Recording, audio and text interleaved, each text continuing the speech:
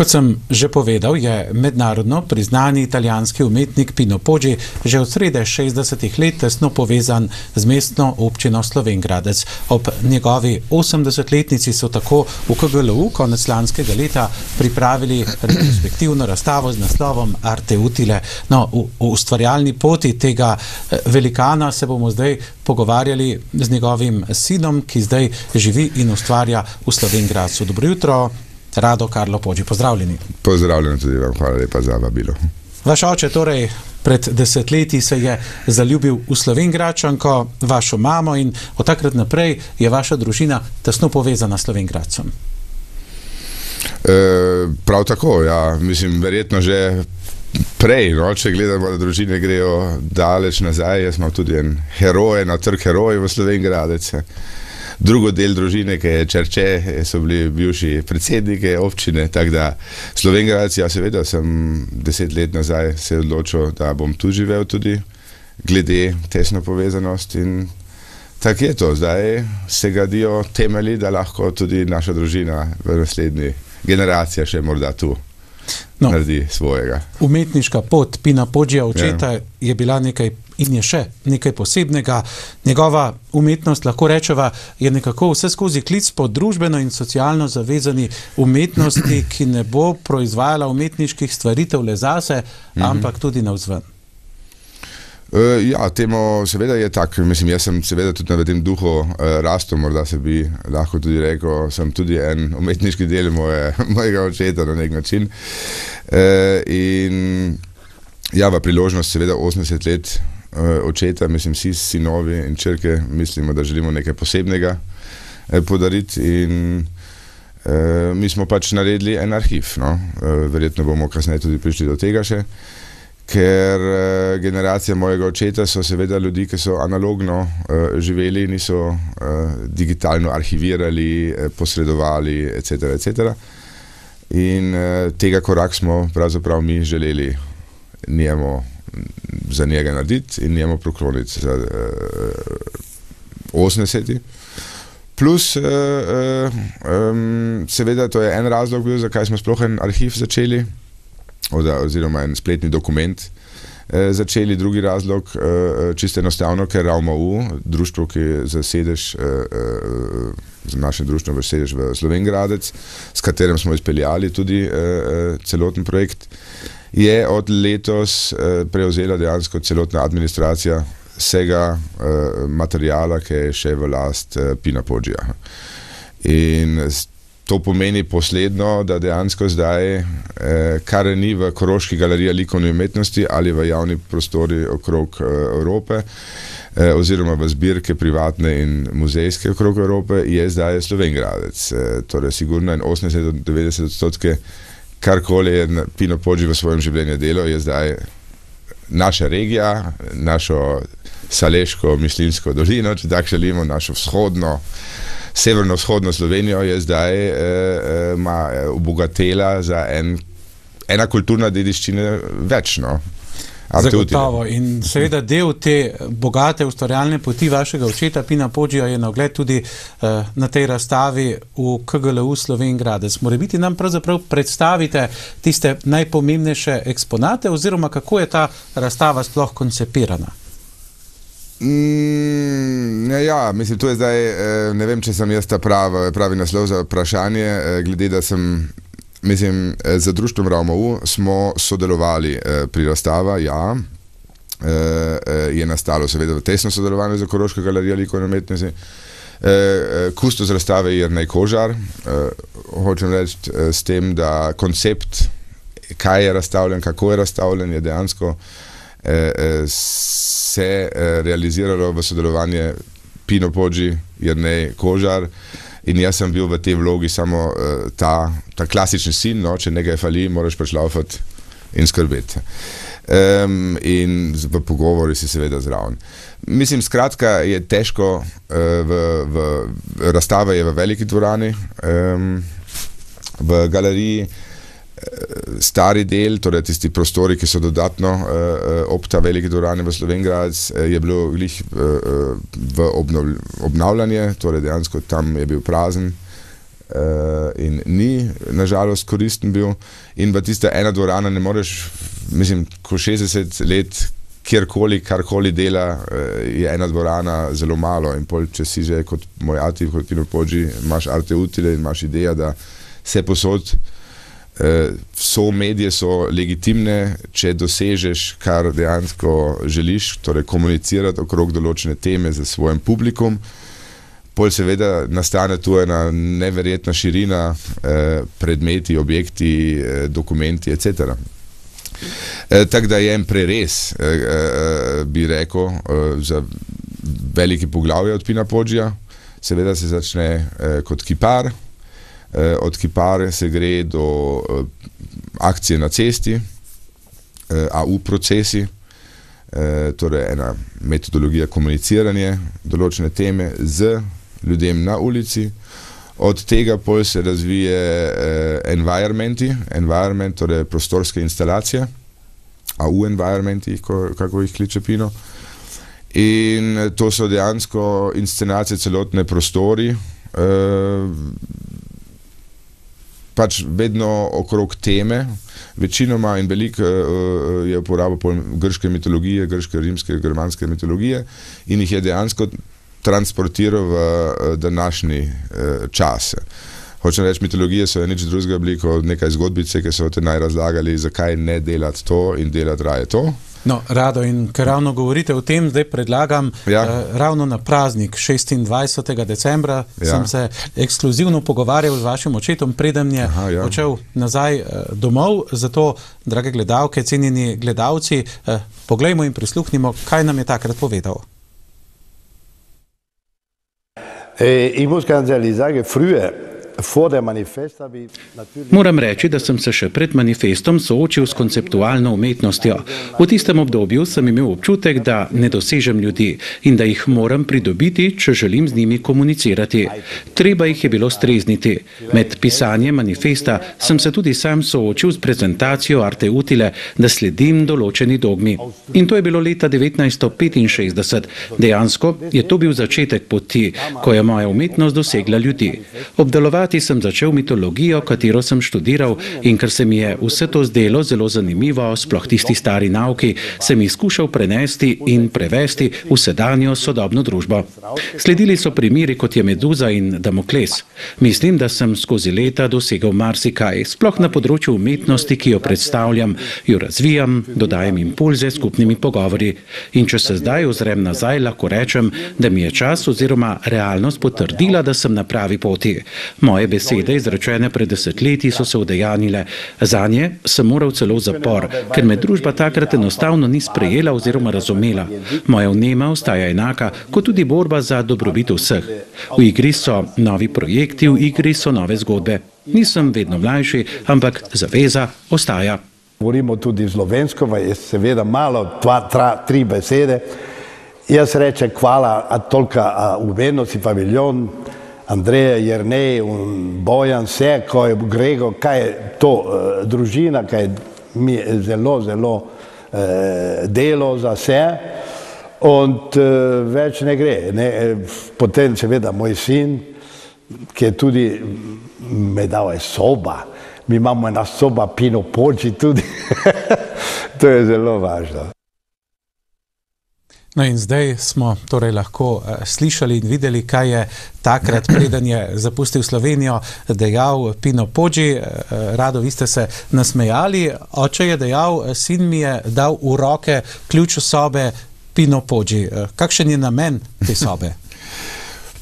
Ma namen je dejansko, da imamo ena soba za gostje, za arte utilisti in seveda eh, Pino je prvo v tej vrsti in on ima svoj, svojo sobo za gostje zdaj eh, v hiši v Meškovi 3. In eh, ko Pino ni, bomo v bodoče dali eh, ta soba na voljo eh, obiskovalcem Slovengraca, da se lahko pravzaprav v eh, apartment od Pina Podžija eh, prespijo eh, in eh, pač ostanejo v našem kraju, v naši regiji. Tako da Čist. začutijo pravzaprav ta ustvarjalni navdih vašega očeta, sicer pa veliko krat sva izpostavila stavčno zvezo Arte Utile. V začetku 60-ih let je bil oče ustanovitelj tega gibanja, mm. potem je zgodbo nadgradil z dvema manifestoma. More biti nekaj eh, besed o sami eh, Arte Utile, pa ne na zadnje, kaj to sploh pomeni. Um, mislim, zelo uh, arte utile, mislim, nekdo arte util, zdaj trenutno. Uh, mislim, je, eh, začnem tako. Uh, najprej so tri, uh, uh, ni dva, pardon, uh, Daniel, uh, so tri uh, nadaljevanje manifesta, ker dejansko ideja, ki se je rodila 65, je nič drugega.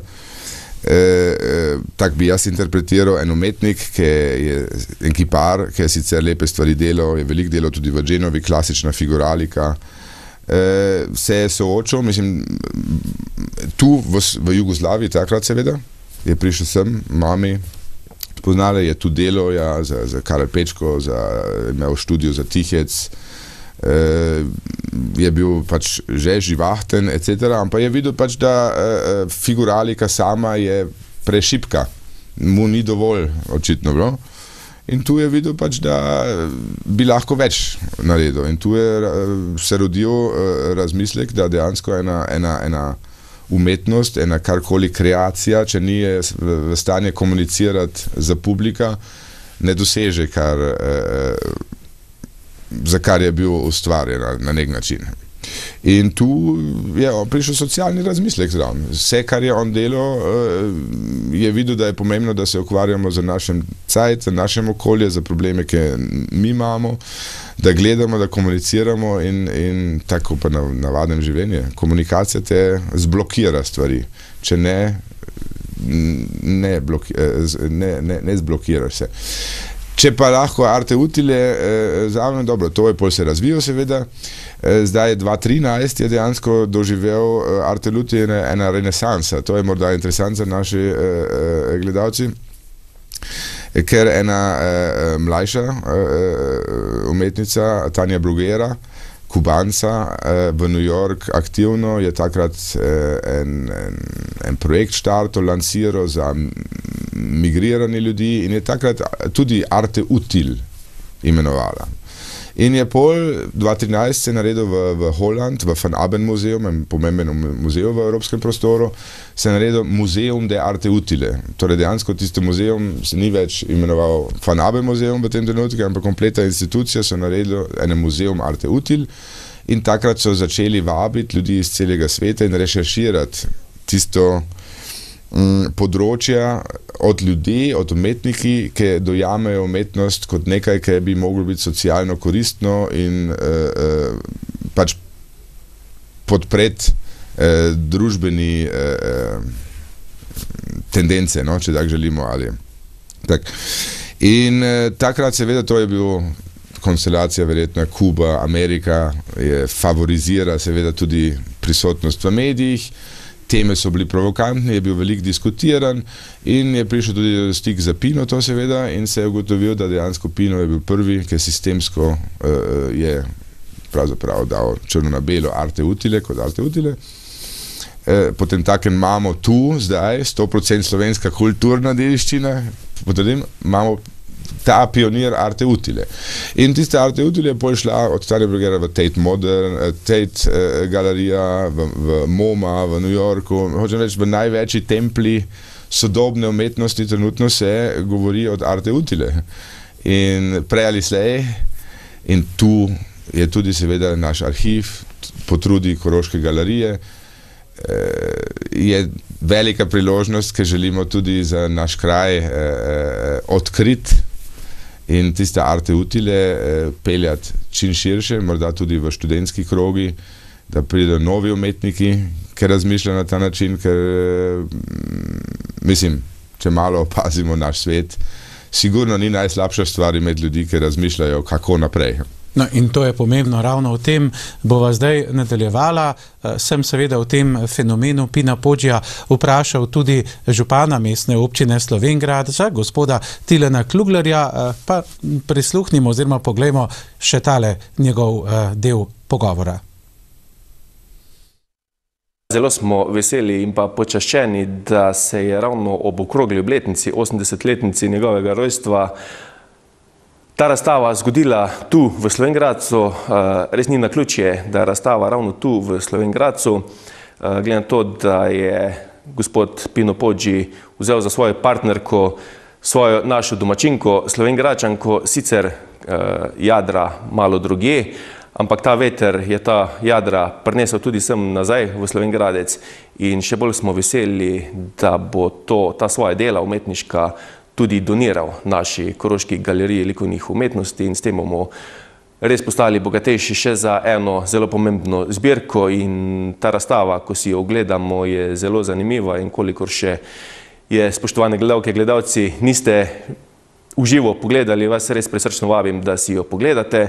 Seveda pa smo še toliko bolj veseli, da tudi njegovi potomci delujejo ravno tu v Slovengradcu, se pravi Rado Podži, sin in nekako nadaljuje s to njegovo kulturo, tradicijo, tudi svojim društvom, ki ga ima tukaj zelo pomembno prispeva k samemu razvoju Slovengradca. No, kot smo lahko slišali, eh, medsebojna vez med mestno občino in družino Podži se še krepi. Na kratko, eh, gospod Rado, zdaj eh, že prej ste povedali, vaš oče je ali pa še bo doniral večino svojih izdelkov oziroma svojih stvaritev. Mislim, da okrog 380 izdelkov oziroma stvaritev KGLU že ima in na tem je treba bazirati. Ne nazadnje tudi vaše društvo Ravma upelje to pot, pa eno tako sklepno misel bi zdaj prosil. Sklepno misel. Ne, jaz bi rekel, jaz sem slišal jih naš župan, hvala lepa županu za tako lepe besede tudi v, mojem, v moje naslove. E, in ja, tudi vabim vse slušalci, pridite, idite gledati, bote e, e, se da razumeti, kaj umetnost lahko poleg biti lepo in e, dekorirati prostori tudi zmore. In uh, mislim, to je seveda duh, tem, v katerem sem jaz bil vzgojen, to je duh, uh, v katerem živimo z društvom Raumau. Konc konc Raumau kot uh, ime društva je tudi Raum, kot prostor AU za arte utile. Torej, vse je dovoljen, kaj je družbeno koristno in provocira trenje, toplota in iz tega lahko izhaja pol morda en, en, en lepši jutri. Ne, eh, misli, eh, misli bi še enkrat ponovim, Arte Utile in Pinopođi je 100% slovenska kulturna dediščina zdaj. Jaz eh, bi se želel, da na tem pot sledimo, da se tesneje sodeluje za Koroška galerija. Prav v, v namen tudi ideja Pinopođi muzeum socialne estetike razvit, torej en muzeum, ki so njegove vrste umetniki in umetnost zbrani in eh, bi lahko pomagal, eh, fungiral kot en centrum raziskovanja v tem področju. Eh, to seveda smo predisponirani zdaj tu v Sloveniji, v Slovengracu, v, v naši regiji.